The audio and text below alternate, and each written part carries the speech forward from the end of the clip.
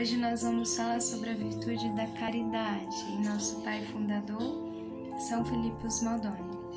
E quem teve contato com o pai Filipe, quem viveu com ele, o escutou falar, o viu pregar, o observou agir, pode compreender com facilidade que o seu coração era todo cheio de Deus que tudo ele vivia para a glória de Deus e em uniformidade com a sua vontade.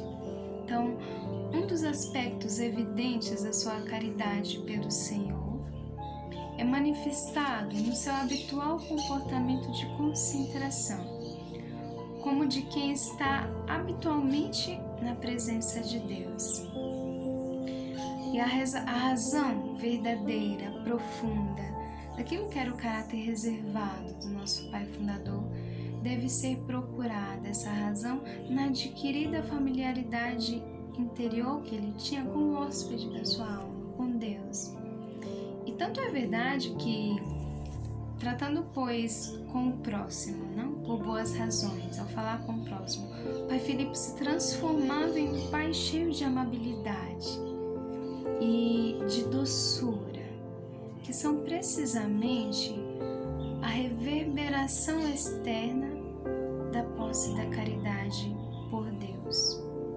Então, por conseguinte, deve ser dado o devido ressalto ao aspecto contemplativo da vida do nosso Pai Fundador.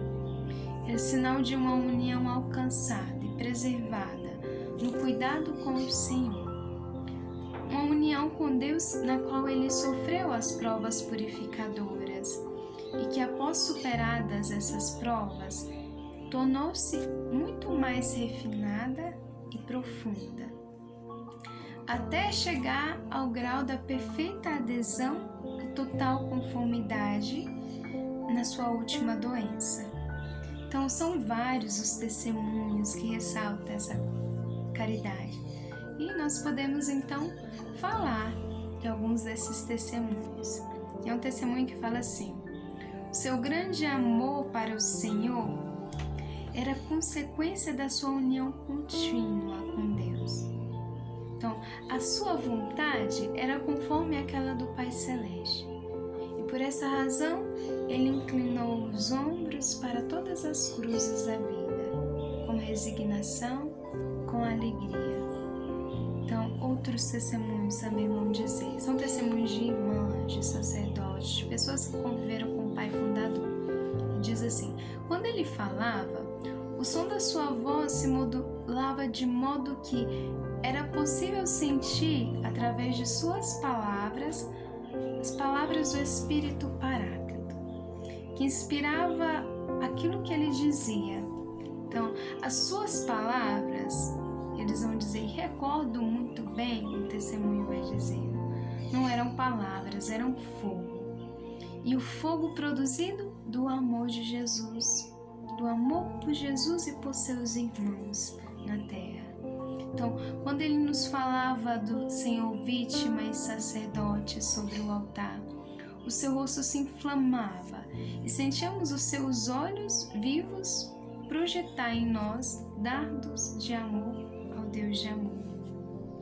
E então nos falava de Maria, e aquele se comovia, pensando que a Mãe Celeste nos pressionava um a um ao coração do seu filho para dar a nós a marca de Jesus. Então, como não recordar como ele na igreja estava prostrado em adoração? O sentíamos, vai dizer o testemunho. Era com Jesus todo em êxtase de amor. Alguns suspiros em uma alegria imensa. Então, que belo ouvir, por meio desses testemunhos, a profundidade dessa caridade de nosso Pai Fundador. E tem um sobrinho seu que era também sacerdote com o mesmo nome do nosso Pai Fundador, Filipos Maldonado, que conviveu com ele que diz assim: ele rezava muitíssimo, lia livros ascéticos para inflamar-se do amor por Deus e pelo homem, e o seu rosto era alegre, seja na hora da alegria, seja na hora da dor. Então, nós podemos, é possível então destacar que o temperamento do pai fundador, embora muito tímido e essa excepcional modéstia dele, se estes poderia de alguma forma, até certo ponto, se esconder dos olhos de muitos e disfarçar, por trás do seu jeito reservado, a extraordinária carga do amor divino não escapa. Todavia, o ardor interno da caridade divina que lhe queimava no peito. Então, isso era possível contemplar nosso Pai Fundador. E a heroicidade da sua caridade para com o próximo é assim então luminosa e evidente. Então as palavras dos testemunhos, variados testemunhos, é, são tão esclarecedoras que cantam sozinhas o grande coração de Pai Felipe, Pai dos surdos. É colocada em ressalto então a amplitude da caridade que se estende a todos. E no cumprir bem tudo isso, ele aplicou constantemente a regra evangélica da mão direita que ignora aquilo que faz a esquerda. Ouçamos os testemunhos de algumas irmãs nossas. Uma irmã vai dizer assim que, com os surdos, ele transcorria todas as suas horas livres, os educando, os instruindo, os ensinando a falar, e os fazendo conhecer Deus e as divinas belezas, os enamorando de Jesus, da Virgem Bendita e das virtudes cristãs. Então, o pai fundador assistia os surdos de dia, vigiava à noite se estivessem doentes, os ajudava de todos os modos, os queria ver sempre alegres. E também na sua última doença, é, tinha por eles cuidado e doçura sempre.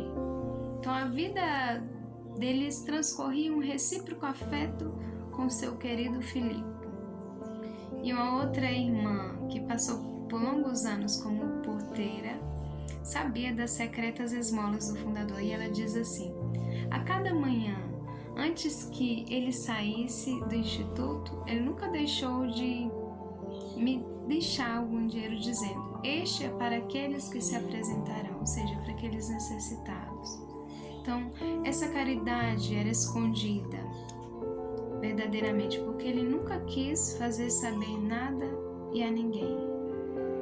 E uma outra irmã vai dizer: Recordo que quando uma irmã estava na cama e não tinha o que comer, ele se informava de tudo. Muitas vezes era privado do seu almoço sem fazer saber nada, dando o seu almoço à irmã. E tudo isso no silêncio profundo, mas que tudo veio a saber. Então, a certa irmã que ficou longo tempo de cama doente, ele nada fazia faltar, seja espiritualmente quanto à necessidade também. Tem uma, um outro testemunho também que subliu um grande afeto e o cuidado pai fundador para com as irmãs doentes. E testemunho de uma irmã que diz assim: Para as irmãs doentes, ele era todo caridade e de vez em quando fazia vir frutas fora da época para remover qualquer desejo e doces também deliciosos para adoçar o paladar. Então, a uma doente grave que se lamentava que o prato que lhe levavam era sempre salgado, fundador daquele dia em diante, ele sempre dividia o seu almoço com ela, até que ela veio a falecer. E quando qualquer irmã morria, ele lhe assistia ficando a noite toda ao lado de sua cama, quando doente ali, né? E fervorosamente ele ficava ali recitando as orações. E se era no inverno, ele até recusava do seu chale mortificando-se, sentindo o ar gelado ou frio da estação, por amor a, Deus, que nasceu à meia-noite no inverno mais cruel. Então, hum, de todos esses testemunhos né, que ressaltam essa grandeza da caridade de nosso Pai Fundador, outro argumento também muito persuasivo dessa heróica caridade vem da grande magnanimidade usada também no confronto dos seus perseguidores, dos caluniadores, e também no confronto de qualquer irmã, não, que o feriu, fazia sofrer, o fez sofrer. Ele se mostrou sempre compreensivo e misericordioso para com todos, diante das situações de dor e em cada momento. Então, contemplando essa virtude da caridade em nosso Pai peçamos a intercessão dele para que o nosso coração seja ardente desse amor de Jesus, para que nós possamos contemplar Jesus a cada instante e viver nessa união contínua com Ele que nos transforma e nos faz viver essa caridade ardente para com os irmãos.